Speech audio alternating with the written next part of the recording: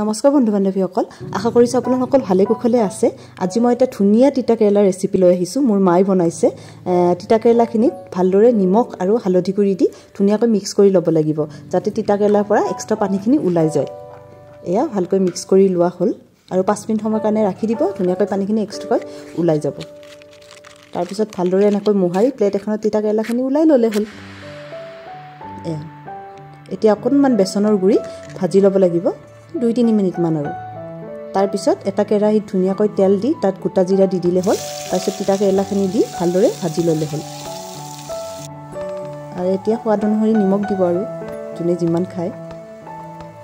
এয়া কালাৰটো ধুনীয়া হৈ আহিব ধৰিছে। তাৰপিছত হালধি কৰি দি ঢাকনি মাৰি দিব যাতে ভালদৰে সিজি আহে। এতিয়া এচামুচ জিৰা গুড়ি আৰু এচামুচ ধনিয়া গুড়ি দিয়া হ'ল। এয়া তেতিয়া টেষ্টটো আকৌ আৰু বেছি ভাল হয়। এতিয়া বেচনখিনি যে ভাজি লৈছিলোঁ সেইখিনি দি ভালদৰে মিক্স কৰি একদম ধুনীয়াকৈ ভাজি জলকীয়া তিনিটা দি নমাই থ'লে হ'ল। এতিয়া চাওক এয়া ৰেডি হৈ গ'ল তিতা কেৰেলাৰ ভাজি। যোনে যোনে মানে ভাল নাপায় ন তিতা কেৰেলা এইটো খাই চাব একদম ভাল পাব। ময়ো মানে ভাল পোৱা নাছিলোঁ কিন্তু এইটো খাই বহুত ভাল পাইছোঁ। গতিকে আজিলৈ ইমানখিনি ধন্যবাদ।